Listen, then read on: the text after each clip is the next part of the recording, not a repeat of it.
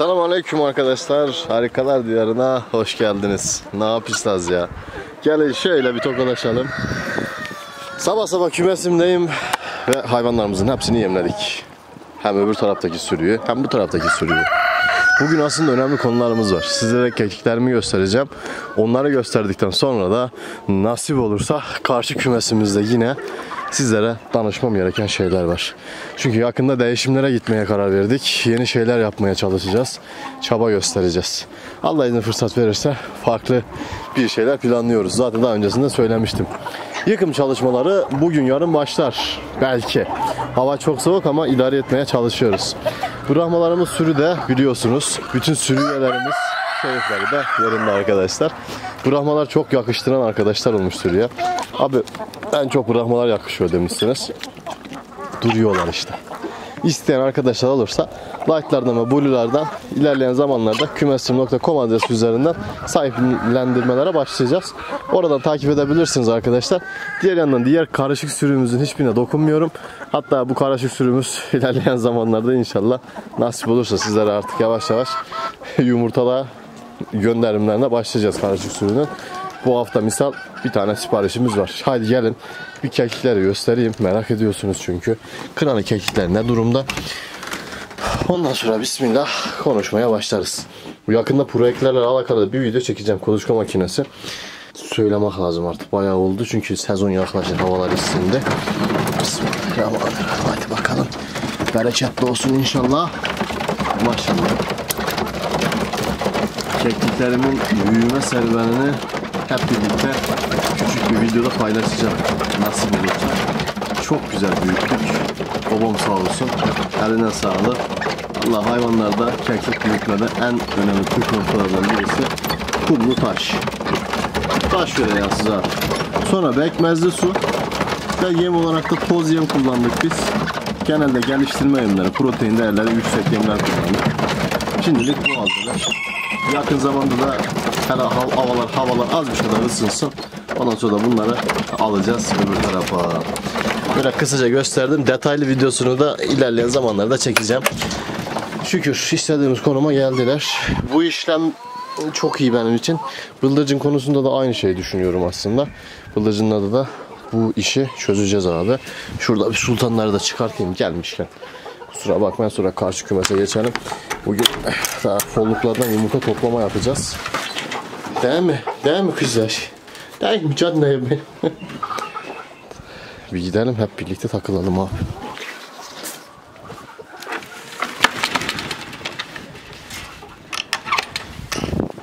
Sevgili arkadaşlar, Harikalar Diyarı'nın güzel izleyicileri bugün sizlere gerçekten ihtiyacımız var. Çünkü artık yıkım işlemlerine başlayacağım. Ama ondan öncesinde sizlere danışmak istediğim şeyler olacak. Çünkü yıllardır beni takip ediyorsunuz biliyorum. Yıllardır hep birlikte yaptık aslında bütün çoğu şeyi. Yeni hayvanlar getirdik, yeni kümesler yaptık ve kümesimizin gelişimini bizi eskiden beri takip eden arkadaşlar çok iyi bilir. Nereden nereye getirdik, ne kadar kümes diktik, ne kadar işle uğraştık. Karışık sürümüze verdiğimiz emeğimizi hepiniz çok iyi biliyorsunuz. Şöyle gördüğünüz karışık sürümüz bile bir 5 yıllık emek var burada bile arkadaşlar. Şimdi gördüğünüz karışık kümesleri yavaştan yıkmaya başlayacağız. Bunları buradan çıkartmak istiyorum. Sizlerden bugün istediğim tek şey bu videomuzu öncelikle beğenmek, sonrası ise aşağı yorumlarınızı ve görüşlerinizi bildirmek. Neler yapabilirim?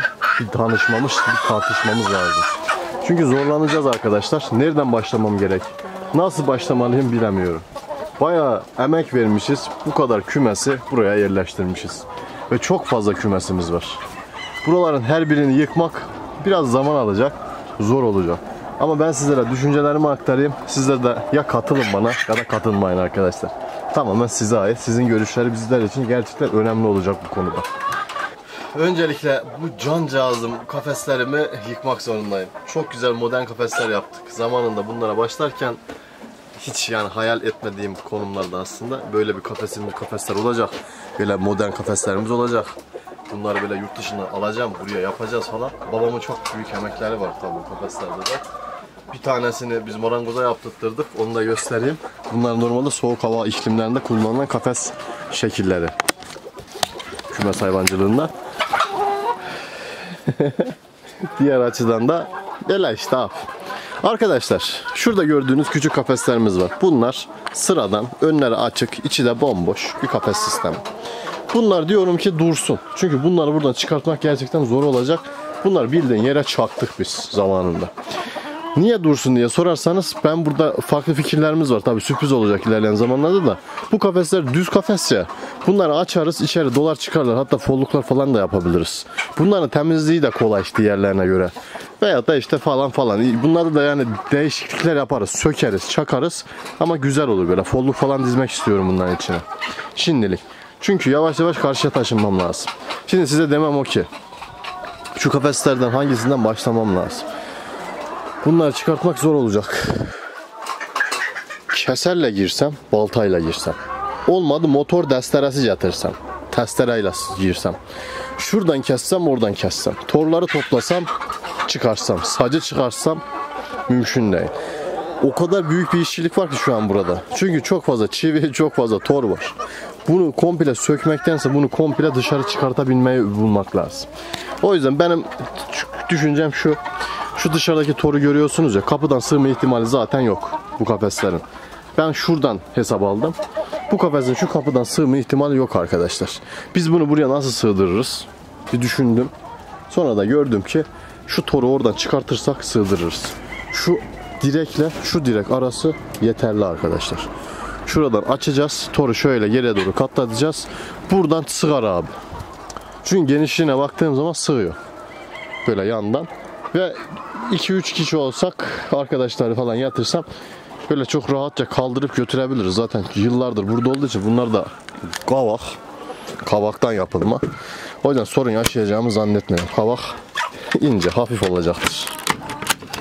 Bunları alıp karşıya taşıyacağım. Ama buradaki kafeslerden sadece 3 tanesini karşıya taşımayı düşünüyorum. Neden mi? O kadar yetiyor çünkü. Üçünü karşıya taşırsak bizim için yeter arkadaşlar. Bir an bu tavşan kafesim var.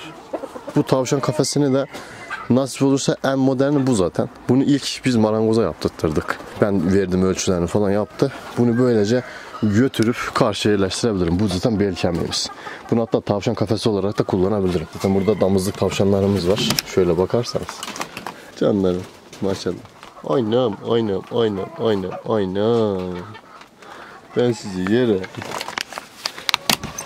o yüzden bu kafeslerin hepsini karşı kümese alabiliriz. Şimdi bir iki tanesini dışarı çıkarttıktan sonra belki parçalarım belki sağda solda koyarım. Şimdi arkadaşlar görüşlerinize burada ihtiyacım var. Yumurta toplamaya geçeceğim ama ondan öncesinde nasip olursa sizlerden bir fikir alalım. Aşağı yorum düşünün. Ne gibi bir şeyler yapabilirim? Şimdi dışarıdan da göstereyim. Hemen dışarıdan bir anlayın. Şu kısmı suyun hemen buradan veya da şuradan sökmeyi düşünüyorum. En azından yani. Toru açtığımız zaman iki direk arasından sığıyor kafası böyle komple alır dışarı çıkartırız. Karşı tarafa dizmeyi düşünüyoruz. Karşı kafesinde şu civciv ünitesinin yanıyla 2-3 tane alıyor. Sadece şuraya 2 tane 3 tane çok rahat sığıyor. Orada bir boşluk bırakacağız. Bütün cinsleri bu tarafa getireceğim. Burayı da komple karışık sürü ve yumurta tavuğu üzerine düşünüyorum arkadaşlar. Burada biraz da açılmış olacak. Şu kafesler çıkınca zaten 2 3 tane orada var. 2 tane burada var bu şekilde. Bunlar çıkınca burası bayağı bir genişleyecek bu alan. Şurada tek sıkıntımız dediğim gibi şunu da belki dışarı çıkartını bilmiyorum. Bunları almaya da bilirim ama alabilirim. Mesela şunda çok güzel tavşan bakarım dışarıda. Şu da aynı şekilde keza. Ancak burada bir tezgah olsun istiyoruz. O yüzden belki burayı da kaldırmayız. Tabi yorumlarınızı okuyacağım. Bu kısmı kaldıralım kaldırmayalım. Çünkü üstünü kullanıyorum abi. Çok da güzel oluyor. Sadece biz diyorum ki şu modernleri kaldıralım. Şurada da var zaten. Bu küçük olanlar kalsın. Bu küçük olanları işletelim, kullanalım burada. Çünkü yer geliyor arkadaşlar. Civcivlerimiz oluyor, feriklerimiz oluyor. Ne bileyim, kurt tavuğum oluyor. Bir, bir şekilde bir kafese ihtiyacımız olabilir her an, her zaman. İşte hasta hayvanlar oluyor, ayırmamız gerekiyor falan derken. O yüzden belli başlı böyle kümes içinde kalsın istiyorum açıkçası. Diğer yandan da bütün kümesi zaten böyle kalabalık bir sürüye emanet etmeye planlıyoruz. Şimdi bu konuda yorum atabilirsiniz. Seviyorum sizi. Vuş vuş vuş vuş vuş vuş. Çekil bakayım Uyza. Çekilin bakayım. Hadi bismillah. Evet arkadaşlar. Yumurtalarımızı toplamaya başlayabiliriz. Hadi bismillah. Kümesin içinden başladım abi. Güzel güzel alalım. Hobi olduklarımız yine her zaman gibi görevini yapmış. Hadi. Şöyle güzel güzel toplayalım. Bir havalar biraz daha ısınırsa yumurta verimimiz artacak gibime geliyor. İnşallah artar. İnşallah istediğimiz gibi olur. Ne bileyim. Nasip kısmet artık.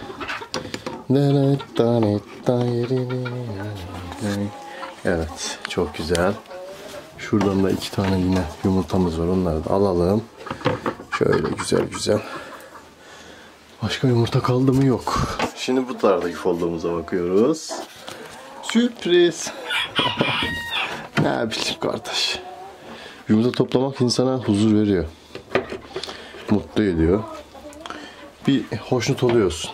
Yani emek de verdiğimiz için hayvanlarınızdan böyle fabrikalarınızdan yumurtalar almak insana çok güzel enerji veriyor arkadaşlar. Hemen şuraya bakıyorum. Ay maşallah maşallah. Daha çok fazla olmadı. iki gün falan olmuştur en fazla diye düşünüyorum. Çünkü, çünkü yumurtaları bu gördüğünüz yumurtaların çoğu satıldı. Bunları göndereceğim arkadaşlar. Hayırlısıyla inşallah. Hayırlı olsun bu arada alın arkadaşlar. Kümesim.com üstünden alabilirsiniz sizler de. Şimdilik böyle. Hele bir işimize bakalım.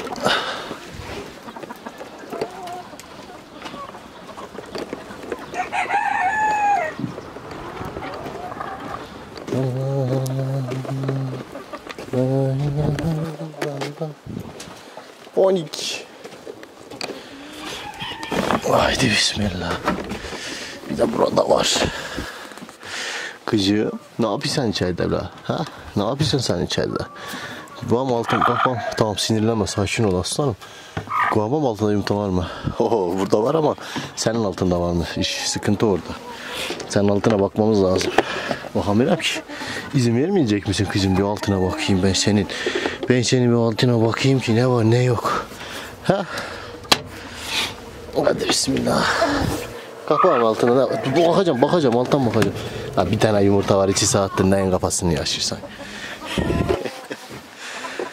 Hemen yan folluğa bakıyorum. Zaten burası maşallah zula gibi bir folluk arkadaşlar. Ah, yine yumurtalarımız dolu. Ay. Çok güzel. Karışık sürümüzün tamamının yumurtaları var. Sadece ataksar salmıyor buraya. Öbür tavuklarımızı salıyorsanız yumurta renginden görebilirsiniz arkadaşlar. Güzel. 20 tane lazım zaten. 20 tane de çıkarttık. Hadi bismillah. Bir tane burada var. Tamamdır. Evet ataks ve sürümüzün genel yumurtalarını toplamış oldum. Öbür karışık sürüye de hiç uğramadım. Yeşil yumurtalar olan.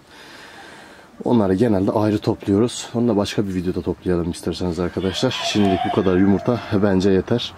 Harikalar Diyarı'nda olduğunuz için çok teşekkür ediyorum. Videolarımızı beğenmeyi, aşağı yorum düşmeyi lütfen unutmayın. Hepsi ücretsiz. Ve konu hakkında, kümes hakkında da yorumlarınızı bekliyorum. Değişim konusunda en azından ne gibi değişimler yapabilirim. Bakalım işte okurum hepsini. Yumurtaları saymadım bu arada unuttuk yine. Eğer saydıysanız aşağı yorum atarsanız sevinirim. Bir sonraki videoda görüşmek üzere. Hoşçakalın. Bay bay.